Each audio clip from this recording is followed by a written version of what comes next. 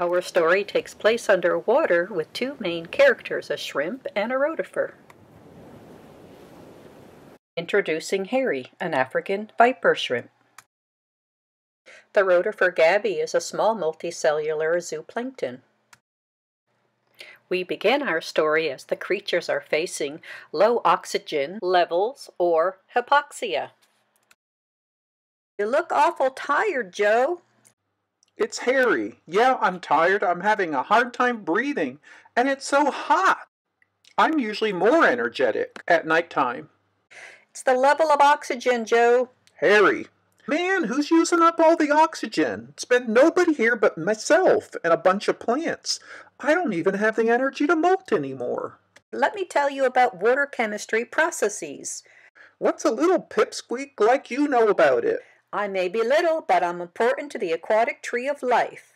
And I can tell you all about how oxygen gets into water, how there's more up there than down here. By the way, my name is Gabby. Why doesn't that even surprise me? Ha! Pay attention, Harry. This matters.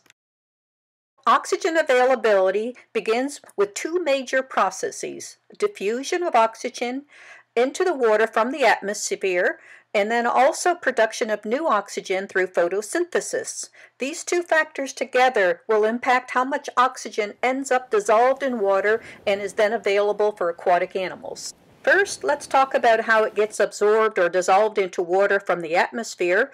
In part two, we'll talk about photosynthesis. The amount of molecular oxygen dissolved in water from the atmosphere follows the laws of physics. Henry's law explains solubility of gases will move or diffuse according to its partial pressure. Did you know that the air is only 21% oxygen? The atmosphere is made up of other gases too, like nitrogen and carbon dioxide. Harry's law? Sweet! Henry's law. Oxygen gas molecules follow their concentration gradient. There's only 1% oxygen in water. When you add sugar to your coffee cup, it'll dissolve into liquid until it's saturated. We can follow oxygen movement from the air down its concentration gradient into water until other factors limit its ability to dissolve. And it doesn't even matter about all those other gas molecules like nitrogen in the atmosphere.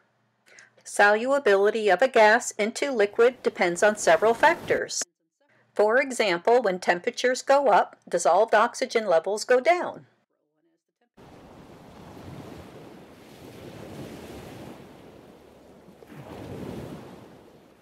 And the hotter it gets, the less oxygen I have to breathe? That's called an inverse relationship.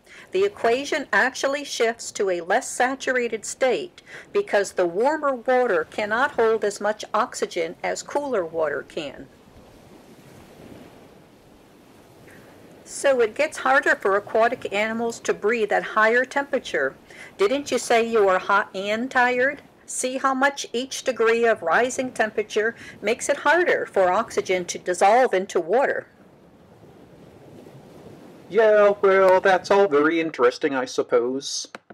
And in the evening, you'll probably feel more energetic, but take a look at how significant the DO drops during hot weather. Fish and shrimp can't survive at all when DO drops below 5 milligrams per liter. Luckily for rotifers like me, we can handle water down as low as 2 milligrams per liter. In Celsius, 20 to 21 degrees is room temperature. Human body temperature is 37 degrees.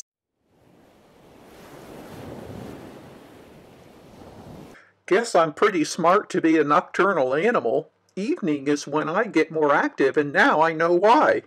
But what about all that fancy schmancy formula stuff? What's that all about? I'm just going to stay down here where it's cool and hide out all day long. I don't like to waste energy swimming around fast like you do up in that sunny water anyway.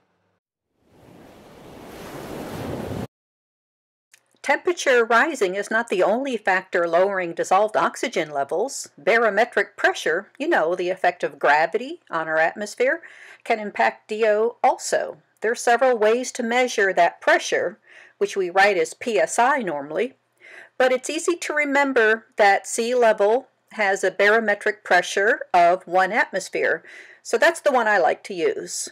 Now take a look at what happens if you increase the barometric pressure. Rising pressure can actually hold more DO, which means altitude is going to really make a difference on DO.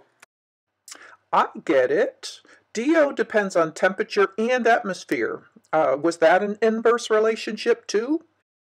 No, no. Pressure is a direct correlation, which means when the atmospheric pressure drops, like higher altitude, then the DO is going to drop also. So when you go up into the mountains, the air seems so much lighter because the uh, barometric pressure is actually lower. And uh, in fact, when you're up in the really high mountains like Mount Everest, the uh, pressure gets down as low as only 0.33 atmosphere or one third the barometric pressure down at uh, sea level. And then, since higher altitudes are going to have um, a lower barometric pressure, then the mountains are the place to avoid.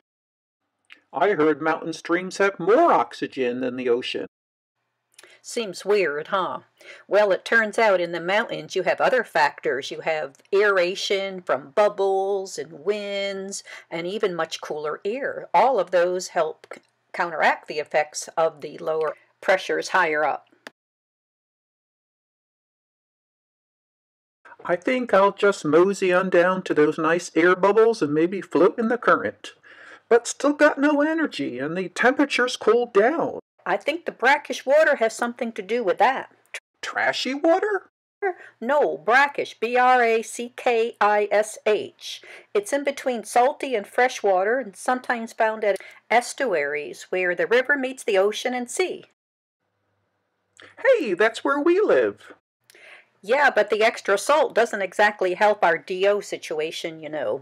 Salts displace oxygen with sodium and chloride, and that shifts the equation even more to less dissolved oxygen.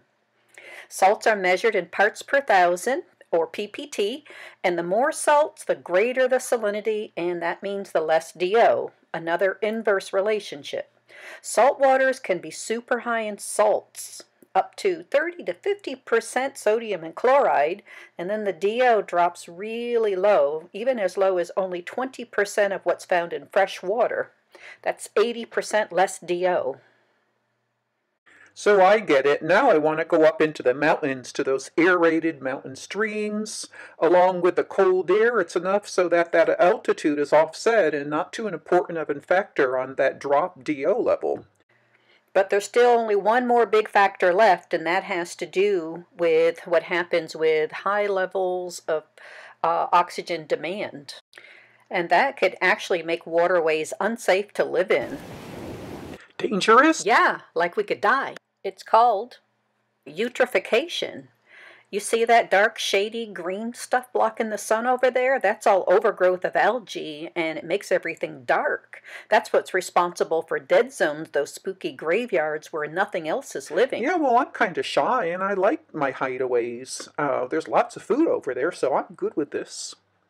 Have you ever heard of the phrase, not as all as it appears, and to watch out for too much of a good thing?